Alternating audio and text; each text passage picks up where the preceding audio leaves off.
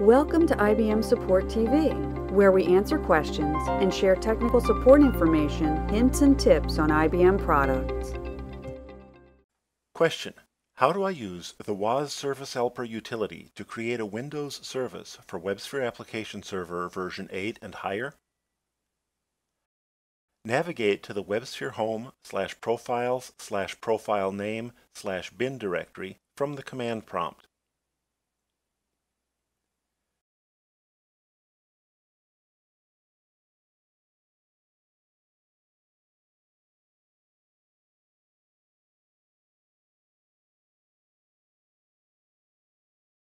Type wasservicehelper.bat.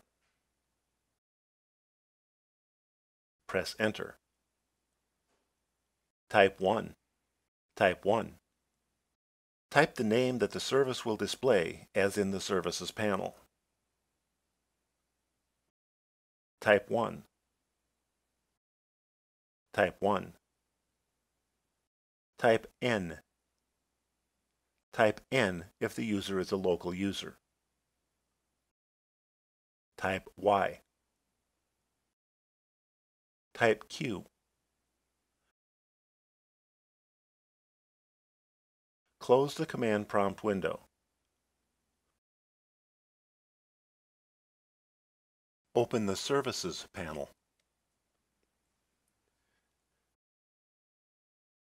Drag this bar down until you see the newly created service.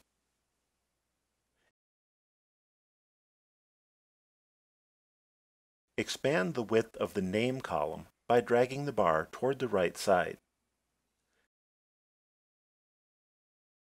Click IBM WebSphere Application Server version 8.5 MyDMGR, which is the newly created service click the play arrow to start the service.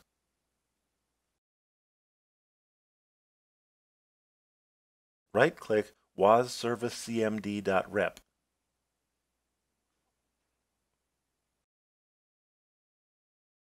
Open the file with a text editor. You can copy this command and execute it at a later time, or use it to create manual scripts to automate future installations.